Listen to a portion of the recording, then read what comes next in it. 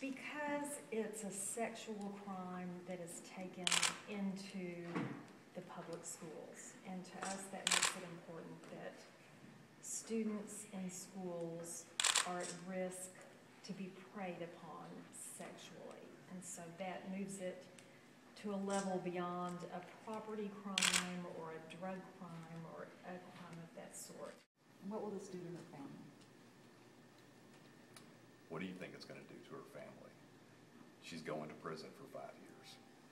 Her children will be, the youngest will be ten years old when, when she gets out possibly. It's, it's going to tear up her family.